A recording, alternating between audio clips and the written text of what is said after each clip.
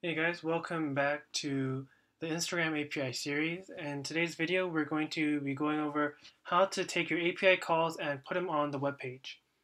And so we're going to be doing that with Lucas's Instagrid.css. And uh, thank you, shout out to Lucas. He made this very easy for us. And definitely go check out and read into the code if you want to look at how he did it.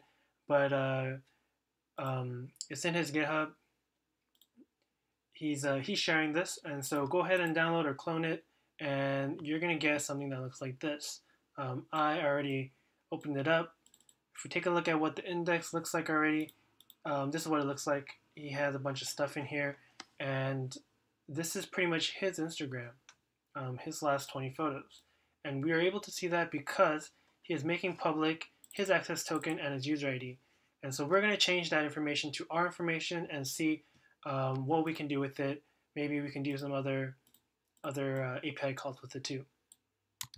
So let's grab our access token, paste that right in there, paste it. Uh, we're going to change our user ID and let's refresh this and boom, this is now my Instagram, the last 20. And so this App Academy is the last one. Uh, rest of it is right here. And so let's take a look at some of the other calls we can do. Uh, I know there's a limit 69 here, but this is kind of dated. We cannot, we can no longer, um, or at least in the sandbox mode you can't. In the regular mode you can. And so we're going to ignore that field. We're going to also drop that down. And so let's see. A couple of things we can do is we could look at tagged photos. And so um, let's remember how we did that um, tags. Okay, and um, I also want to point out this uh, Stevens uh, GitHub. He has instafeed.js, and though we're not using that today, is very similar. And uh, I like to come to his README because it's really well documented, and we can really um, take a look at what we want to see here. And so uh, we want to get tagged, we want to get tag name. It, it just kind of shows us what we have to do. Um, if you want to use tag name, use with get tagged. And so let's do that. Instead of get user, we're going to do get tagged and um, let's see.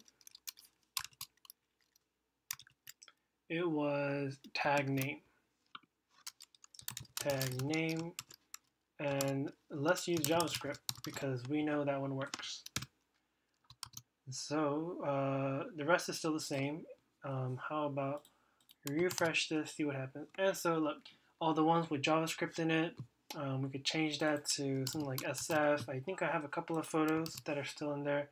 Cool, and so those are all the SF photos. Um, yes, and so that is pretty much it.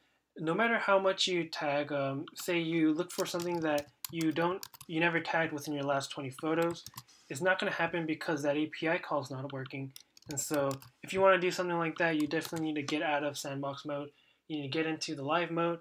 But other than that, um, I think this Instagrid is a great start for kind of figuring out how you get your API uh, calls onto the web page. Um, I would suggest going in and looking at um, uh, this script here. And if you want to put the script in a different file and uh, open up on the web page, you could always uh, pretty print it. So it'll be a lot easier to take a look at. Um, that's pretty much it. Um, this is how the API call turns into JavaScript. And uh, if you don't want to use Instagrid, you could definitely use Stevens. And I know he has uh, he has uh, npm npm and stuff. He has npm Bower, all this installation stuff. He even has the InstaFeed um, in a raw file, so you could just copy paste it into an InstaFeed min. Um, I did try using this one before, and it was a little more difficult than InstaGrid, uh, simply because uh, Lucas just had it all done for you. Um, but uh, take your choice. Uh, I think the main main uh, shackles here is definitely the 20 pictures of yourself, uh, of your of your 20 photos that belong to you but you get the idea. That is how you, or this is how you go through the Instagram API.